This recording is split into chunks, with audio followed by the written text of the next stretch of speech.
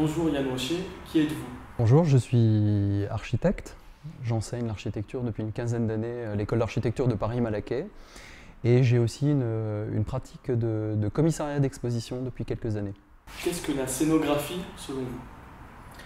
La scénographie, ça peut être quelque chose à la fois très pointu, très précis, mais ça peut être aussi une manière de voir les choses, une manière de présenter les choses. Et euh, dans les enseignements que je peux mener euh, avec Thierry Levier, euh, avec l'école des beaux-arts, on essaye de, regarder autant comment c'est l'art de déployer des œuvres dans l'espace en fonction de leurs caractéristiques propres, ce qu'elles appellent en termes d'espace, comment elles s'appuient sur les lieux, mais comment aussi elles construisent un récit, les unes après les autres, mais au fond, cette question, on peut la regarder aussi, retrouver les mêmes questions dans la manière de raconter euh, des projets d'architecture, par exemple, ou des œuvres, à travers un livre, dans le rapport euh, entre les textes et, les images. Alors pour moi, ça, ça, relève aussi de la scénographie. J'y vois des liens euh, assez clairs, ce qui explique d'ailleurs que dans l'histoire, on a parlé souvent des musées comme des livres qui racontent l'histoire de l'art. Comment enseigner la scénographie dans une école d'architecture? Tel que j'enseigne la scénographie en école d'architecture, je vois l'intérêt d'avoir à la fois des contenus euh, théoriques, c'est-à-dire en, gros euh, essayer d'expliquer euh, comment ça s'est constitué dans l'histoire, s'appuyer sur des cas d'études, des expositions célèbres qui ont, marqué l'histoire de l'art et de l'architecture, des personnalités, Carlos Carpa par exemple, Lina Bobardi, mais d'assortir on va dire, ces connaissances avec des pratiques. Et avec les étudiants, depuis trois ans maintenant, on, répond à des commandes d'institutions qui ont, des besoins de, scénographie. Alors parfois, on les, véritablement, on les conçoit, on les fabrique. Des fois, c'est plus de l'ordre de la, conception. Et puis ensuite, les institutions vont les fabriquer. Je pense par exemple à la, Grande Halle de la Villette, à, travers le, festival 100% depuis quelques années, qui, a fait confiance à nos étudiants alors, vous décrivez l'utopie comme un de vos centres d'intérêt. En quoi, en quoi celle-ci alimente votre travail et vos réflexions? L'utopie est venue dans, mon parcours par hasard, on pourrait dire, euh, quand euh, j'ai été nommé euh, enseignant d'architecture à l'école d'architecture de Paris-Malaquais. On m'a demandé de monter un cours et j'ai commencé à faire plancher les étudiants sur l'analyse, l'étude des théâtres qui avaient été rêvés par les avant-gardes, par des ingénieurs, par des artistes à travers l'histoire. À travers cette première recherche, j'en suis venu à l'utopie par un cas particulier qui est de regarder ces théâtres, ces théâtres de papier, ces théâtres qui n'ont jamais vu le jour. Et au fond, c'est une histoire qui permet de regarder l'utopie, mais à travers ses formes spécifiques. Vous avez réalisé une exposition intitulée Le théâtre en utopie, au lieu unique à Nantes qui tentait de créer une cartographie des théâtres rêvés. Quels sont les théâtres qui vous ont le plus marqué?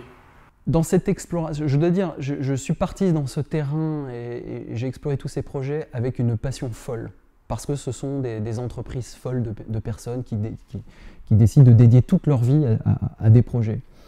Je peux prendre le cas par exemple de Jeb Steele McKay, à travers son projet du Spectatorium de Chicago euh, en 1892-93 où il se saisit de la thématique de l'anniversaire de, la découverte de, l'Amérique par Christophe Colomb pour imaginer un bâtiment qui n'est fait que pour raconter la découverte de l'Amérique sur scène, avec euh, un espèce d'immense bassin sur lesquels euh, les îles et les caravelles euh, se rencontrent.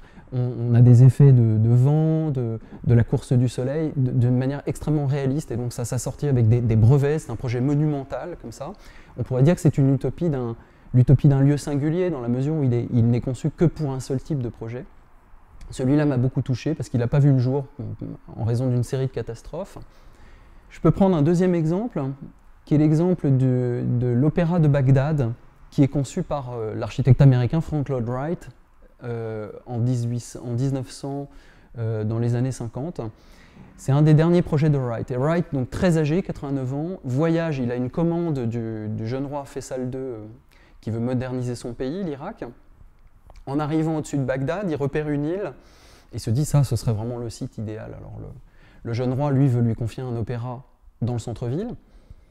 Et puis, euh, bon an, mal an, Wright lui dit J'ai vu cette île, euh, est-ce qu'on pourrait pas faire quelque chose dessus? Le roi lui dit Mais si, euh, en plus elle m'appartient, donc allons-y. Et Wright repart à cet âge avancé de sa vie avec la plus grande commande de sa vie qui aurait été un, immense opéra sur une île vierge. Et il se met à rêver d'une chose qui est absolument imprévue par le roi.